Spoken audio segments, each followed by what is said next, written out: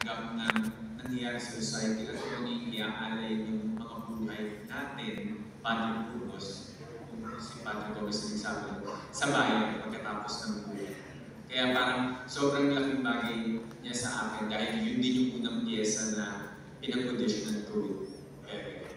Tapos, pangalawa yung garote kasi lahat tayo, kung merong bubursa, susunod na din ang alam natin yung garote.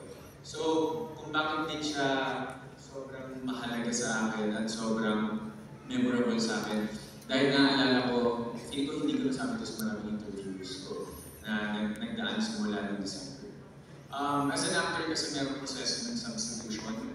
So dahil sa, sa, sa history, ang nangyari ay pinakamuli talaga si Padre Burgos sa lahat. So sabi ko, sa lahat ng mga researches na nakuha ko from studies, from um, Sir Ronnie, Pepe, sa, sa script, sabi ko, paano pa kaya may inject yung emotion ko um, more than dun sa mga inaral. So, ginamit ko yung reacting style kasi ng substitution. So, somehow, sinubstitute ko yung tatlong nakita. Si Zaldua, ginamit ko siya as kaibigan. Si, um, si Zamora, ginamit ko siya as my brother. Tapos, si Gomez, ginamit ko siya as my father.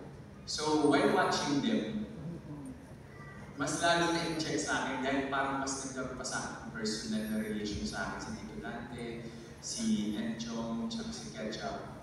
Kaya, ano eh, parang medyo naging near death siya sa akin. Kasi parang, we have to say goodbye, we have to say goodbye. Pero alam natin na wala tayong ginawa magkakamali. Kaya parang mas yung emotion nung magaling ako sa. So, ayun. Yun